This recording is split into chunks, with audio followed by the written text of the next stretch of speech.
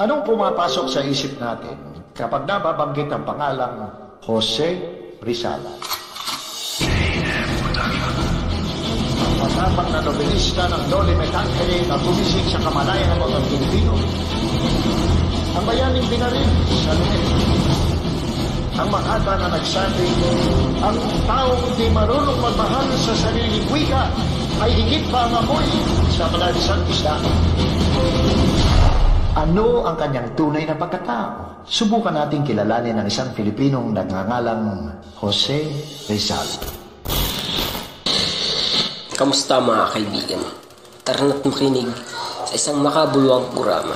Handa ka na bang makinig at sumali sa ating programa ngayong araw? Martyrdom at Bagong Bayan ay tumutukoy sa pagbitay kay Dr. Jose Rizal. Isang pamansang bayani ng Pilipinas noong Desyembre 30, 1876 sa Bagong Bayan, Maynila.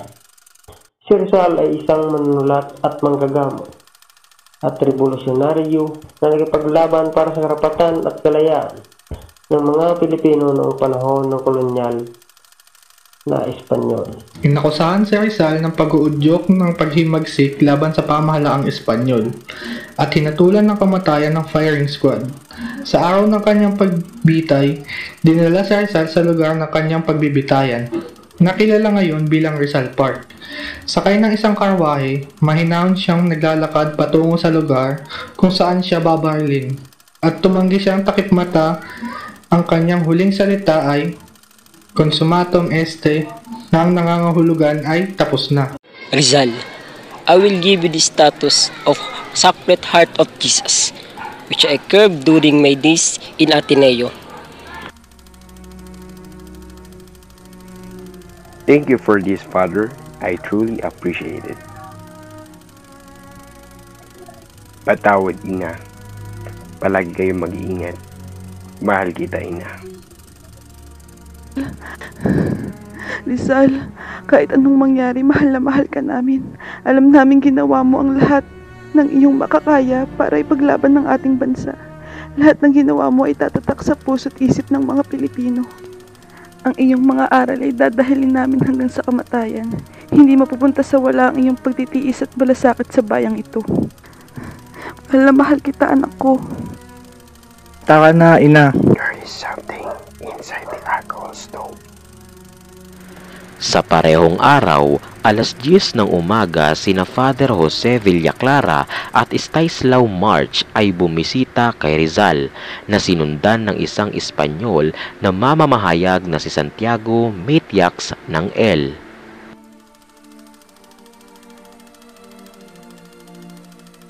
O Rizal, kamusta ka na? Kumain ka na ba? Okay lang po, Father. Anong nararamdaman mo ngayon? Napansin kong napakakalma mo lang. Hindi ka ba nakakaramdam ng pagkatakot o ng pagkakaba? Malungkot at sobrang lungkot ang nararamdaman ko, Father. Pero kailangan ko tanggapin at handa ko mamatay para sa ating bayan.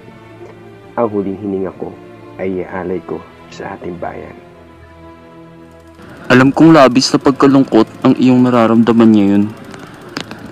Ngunit huwag mo sanang kakalimutan na mananatiling nasa puso't isipan namin at habang buhay naming dadalhin ang lahat ng mga aral na binigay mo. Sinisigurado ko ring tatatak sa aming mga Pilipino ang tapang at paninindigang pinakita mo alang-alang sa bayan nating sinilangan. Salamat po, Father. Magpakatatag ka sa mga huli mong sandali, ha? Huwag mo sanang kalimutang magdasal at manalig sa puong may kapal. Hanggang sa muli, Rizal. Paalam. Paalam, Father. Palagi po kayo mag-iingat. Umaga ng Disyembre 30 ay maaga siyang nagising at isinulat ang dedikasyon na ipinangako niya kay Josepine. Sumulat din siya ng kanyang mga huling liham sa kanyang magulang na humihingi ng tawad sa lahat ng kalungkutan na naidulot niya sa kanila. Walang sinuman ang nagtangkang pumasok sa kanyang selda. My beloved Father, pardon me for the pain which I repay you for sorrows and sacrifice for my education. I did want, nor did I repay. Goodbye, Father. Goodbye, Jose Rizal. To my very dear mother, Senora Doña Teodora Alonso, 6 o'clock in the morning, December 30, 1896. Rizal. Noong Disyembre 29 taong 1896 ay pinaalam kay Rizal na siya ay nasentensyahan sa kamatayan sa pamamagitan ng firing squad. Sa kanyang mga natitirang oras, abala si Rizal sa pagpulong sa mga bisita mula sa mga miyembro ng kanyang pamilya at mga pari. Ang grupo na babaril sa kanya ay kinabibilangan ng mga Pilipinong sundalo na kabilang sa grupo ng mga Espanyol na sundalo kung sakaling di sumunod ang mga Pilipino sa pinag-uutos na pagbaril kay Rizal. Desyembre 30, 6.30 am ng umaga ay magsisimula ang death march mula Fort Santiago hanggang Bagong Bayan apat na sundalong may bayonated rifles ang nangunguna sa prosesyon na sinundan ni Narizal, Tavil de Andrade, Fathers Villaclara at Marcha at iba pang mga sundalo. Dumaan sila sa Intramuros Plaza pagkatapos ay kumanan sa Postigo Gate sa kaliwa sa Malicone. Ang Bayside Road na kilala ngayon bilang Bonifacio Drive.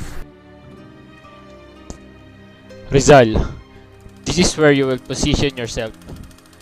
Turn your back against the firing squad and face the sea. Suma tumes!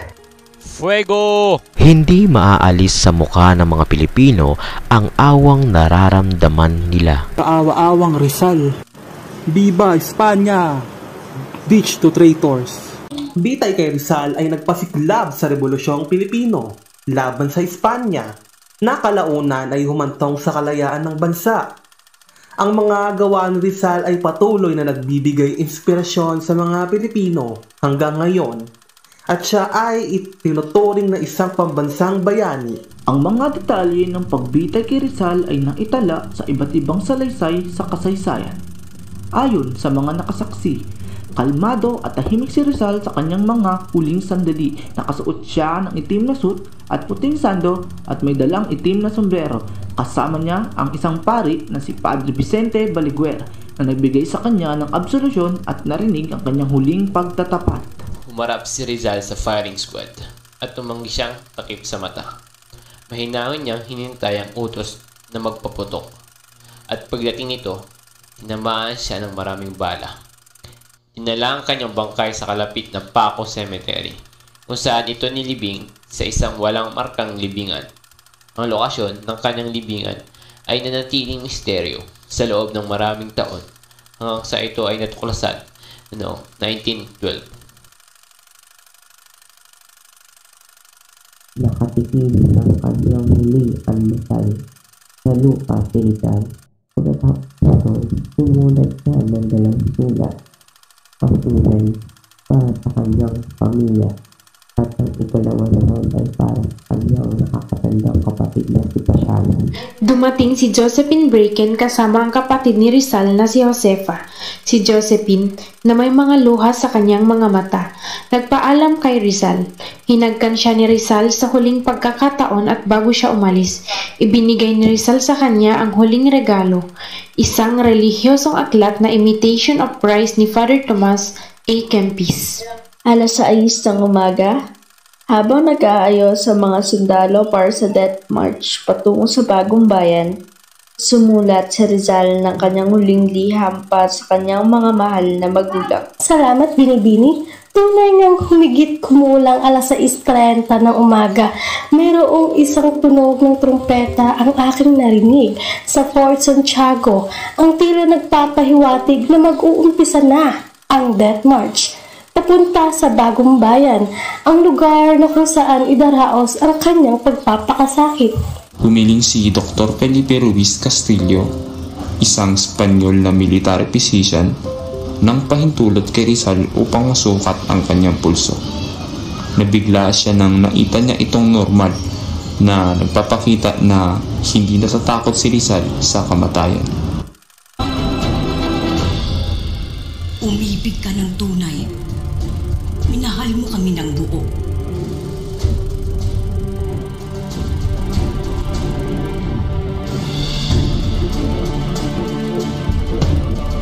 Mapanatag ka anak ko. Hindi mapupunta sa wala ang iyong mga pagtitiis at pagmamalasakit sa bayang ito. Abunde! Fuego! Consumatum est.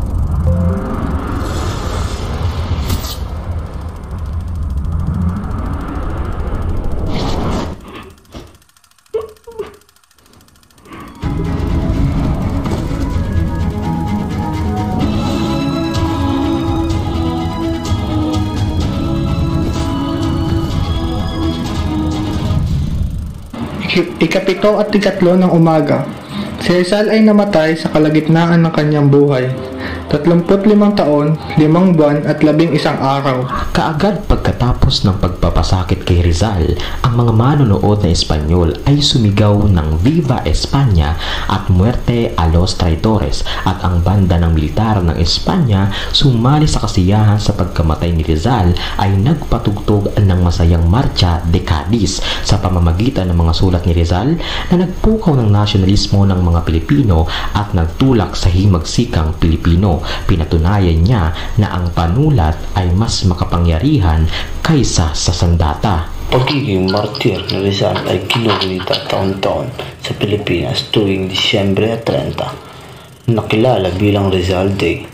Ito ay isang pambansang araw na nagpaparangal sa mga kontribusyon ni Rizal sa kalayaan ng bansa at nagsisilbing paalala sa mga sakripisyong ginawa niya at siya ay lumaban para sa kalayaan at katarungan ng di gumagamit ng dahas. Maaaring gamitin ang salitang martyrdom upang tumukoy sa pag-aalay ng buhay ng isang individual para sa kanyang paniniwala, prinsipyo o adhikain.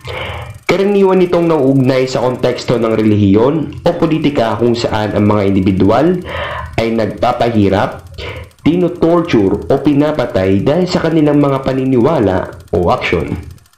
Sa kaso ni Dr. Jose Rizal, ang kanyang pagiging martir ay nagpapakita ng kanyang dedikasyon sa pakikipaglaban para sa karapatan at kalayaan ng mga Pilipino noong panahon ng pananakop ng mga Kastila. Nakakalungkot isipin na sa ganong paraan namatay ang ating pambansang bayani kung maituring.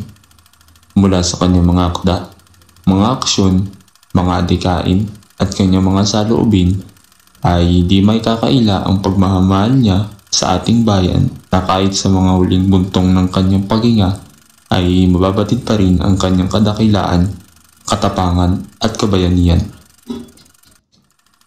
Marami ng iba sa atin ay tutol o hindi sang-ayon sa pagkilala kay Gato Rizal bilang ating pambansang bayani na ituturing.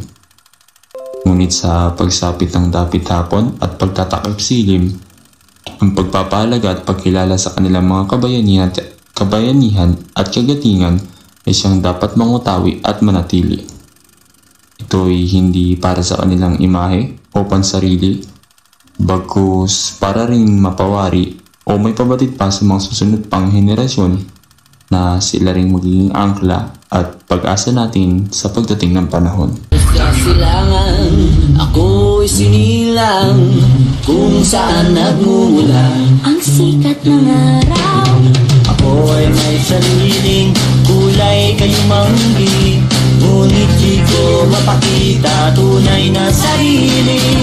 Tayo'y mga Pinoy, tayo'y hindi kano. Huwag kang mahihiya. Kung ang ilong mo ay Tayo'y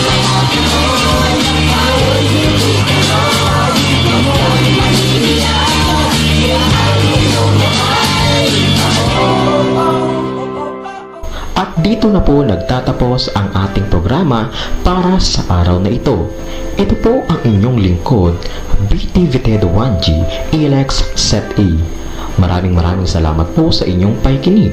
Sana ay nakatulong kami sa inyo at magkita-kita po tayo muli sa susunod na programa. Ingat po kayo palagi. Paalam!